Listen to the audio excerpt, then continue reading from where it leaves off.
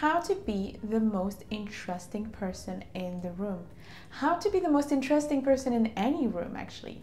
Hello, my beautiful darlings. Welcome back to my channel. I hope you're having an amazing day today. Today, we're going to talk about habits of highly intelligent and captivating women. Because to be truly captivating and mesmerizing, it needs to be more than just your look. Smart women attract the best partners, they attract the best jobs, they make the most money, and they know how to be truly strategic much like the femme fatale. You know how much I love this archetype. I talk constantly about the femme fatale and her power. And a big part of her feminine allure is her intelligence. She's sharp and quick-witted. She is smart. You cannot manipulate her like that. This is where lays most of her power. And we want to be high-value women on this channel. And I believe that high-value women are way more than just look. So how to make ourselves more intelligent, more cultivated, to really be the full package. Because I do not like the stereotype of beautiful women are stupid or to be intelligent, you have to not look good in some way or you cannot not be taken seriously if you take care of yourself and if you're highly feminine. I do not like those stereotypes. I want to challenge those stereotypes with you. I want us to be the full package. I want us to be true high value. It's intellect, it's mindset, it's physical, it's everything, it's confident. The most successful women that were able to attract the best partners also had a brain. They were also really intelligent. I love multiple examples, but when you think about Amal Clooney, she is high value, she's educated, she's beautiful. When you think about Jackie Kennedy, she is so classy, so educated, so beautiful, and she was very smart in her approach with men. I want to do a video about her, by the way. She was she was something. A high value man will want a woman that is more than just looks because beautiful women are everywhere.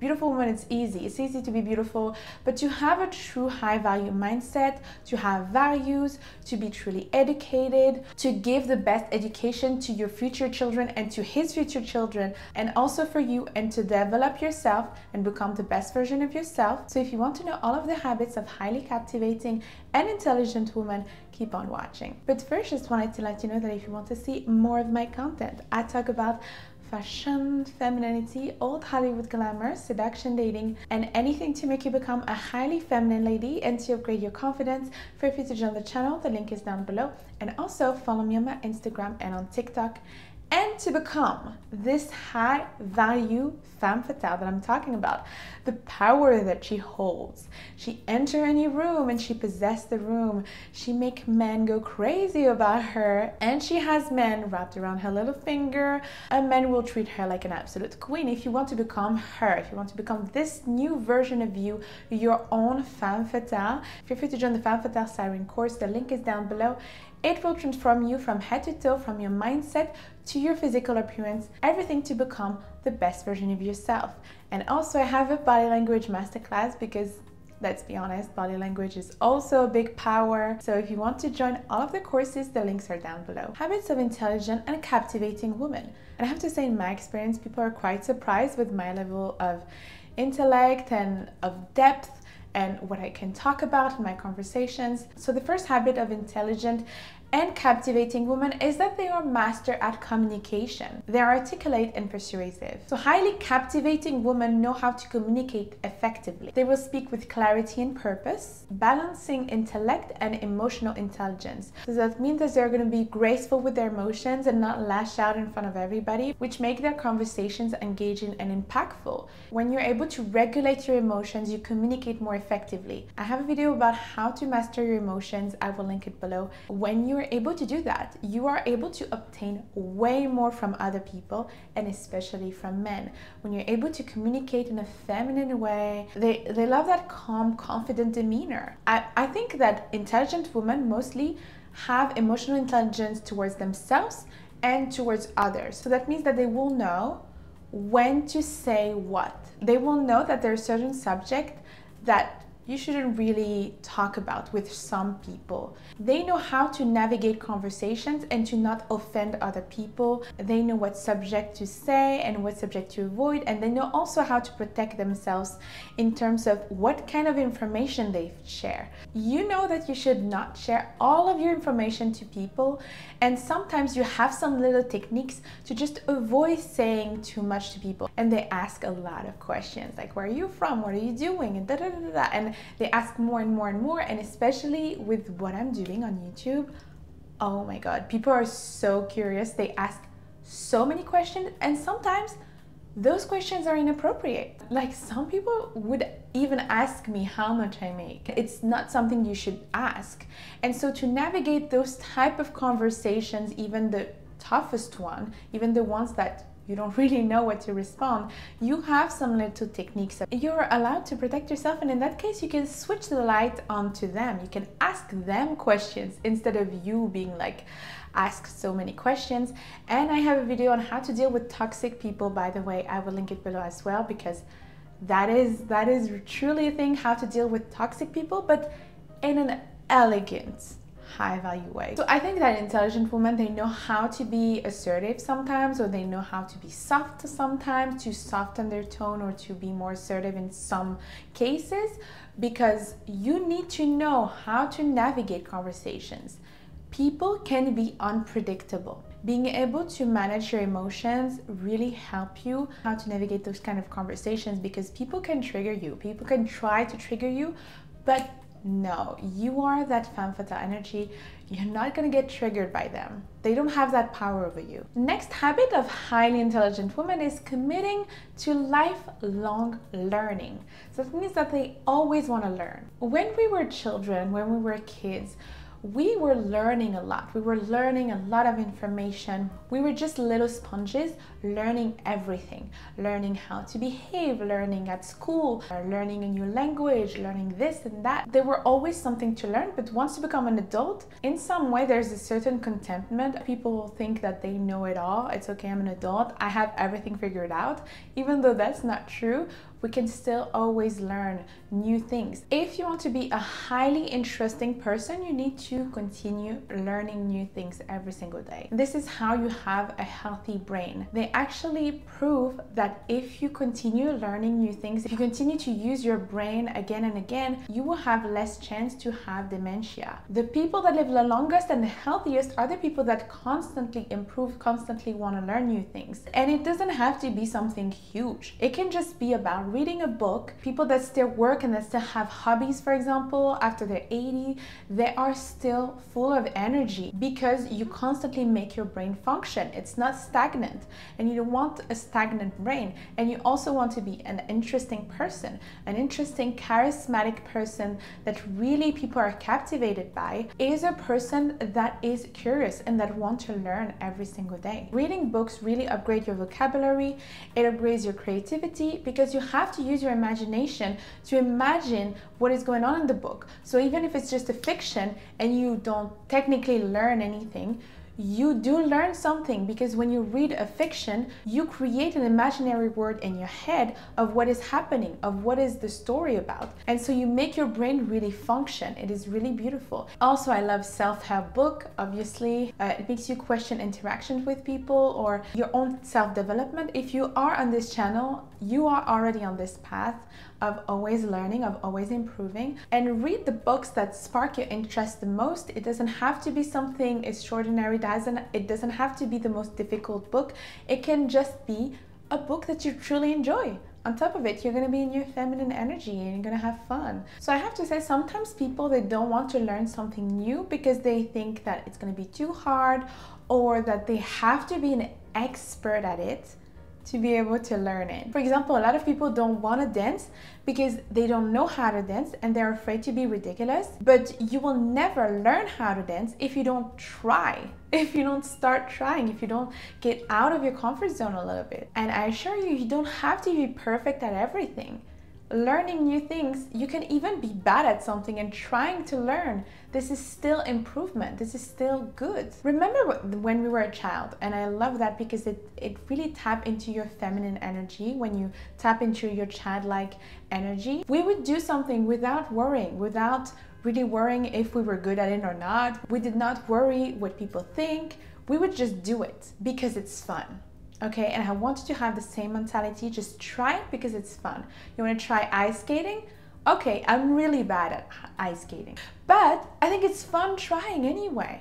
It's fun trying and even if i'm not becoming the best at it it's okay. For example i'm really good at belly dance but i'm really bad at singing for example okay so if i wanted to just stay on my comfort zone i would just do belly dance and that's it but then i also want to try things that i absolutely do not know how to do anything can be learned that's the spirit that you need to have. And this is how you become the ultimate interesting person. This is how you become truly confident also because the more you achieve things, the more you see that you're capable to doing this and that, the more you see how capable you are, the more confident you're gonna be. You need to get out of your comfort zone and try new things every single day. Next advice I would say is be curious. Ask questions talk to people talk even to new people talk to people from different cultures than yours try to visit different countries that has nothing to do with you I want to visit Japan. Everything, even just moving to Dubai for me, is completely different from Europe. When I come to New York, also, the culture is very different. I love to step out of my comfort zone. Go see a show that you've never seen before,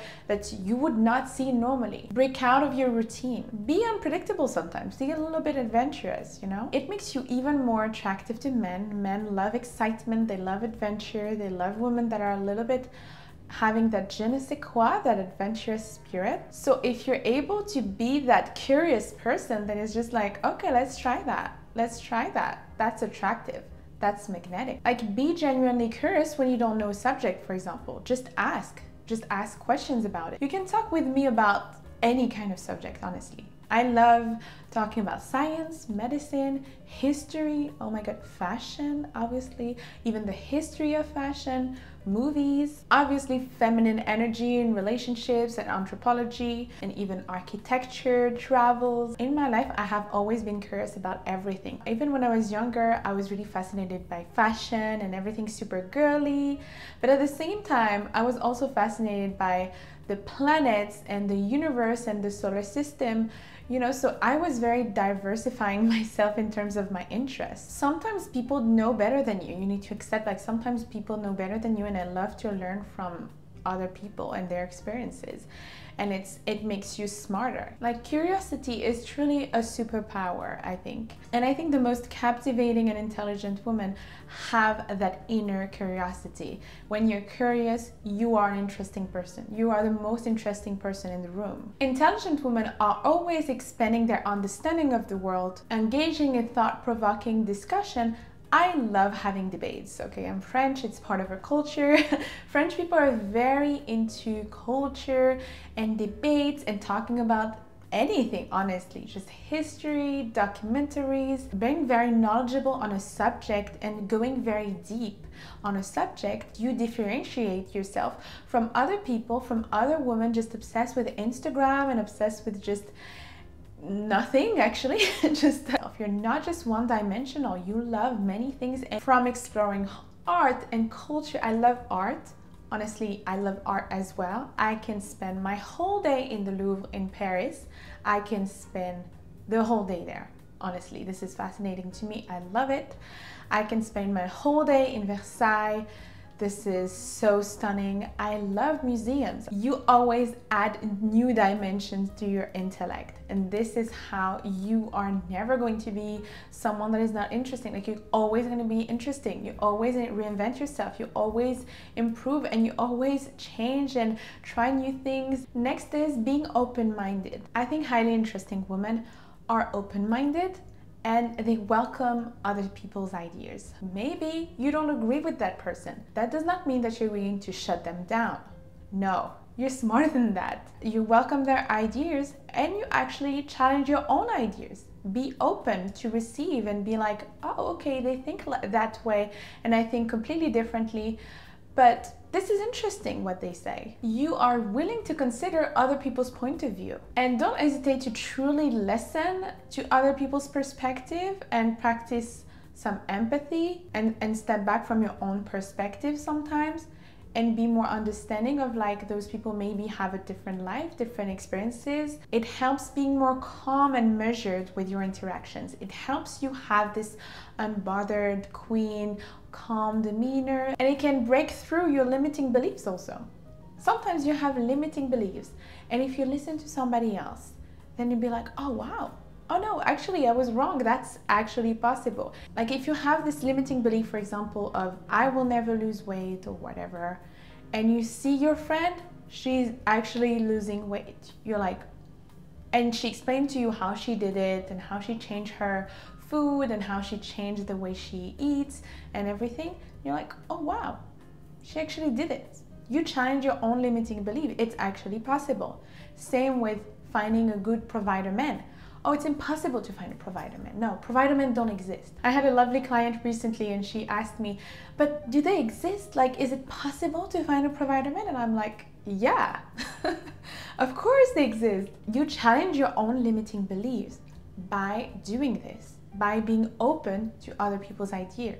It can actually benefit you and elevate you. Highly intelligent women also have critical thinking. They question, they analyze, they like to explore various perspectives and make well-rounded decisions. They, they don't have this mindset of black or white, you know, like this black or white mindset of everything is good or everything is bad or this is good and this is, they have more subtlety. They know that not everything is black or white. They know that there's gray area in everything. They don't have this tendency to dramatize everything in that way. They're able to be well rounded with how they think. Their critical thinking skills allow them to approach problems creatively and logically. They are also strategic thinker with goals. As i talked about jackie kennedy she was a strategic thinker a lot of them are. A lot of women that are highly successful and smart, they are strategic in how they think. They plan ahead, for example, not just for immediate success, but for sustained growth in all area of life. They're a bit bold. They know that to obtain certain things, sometimes you have to take risk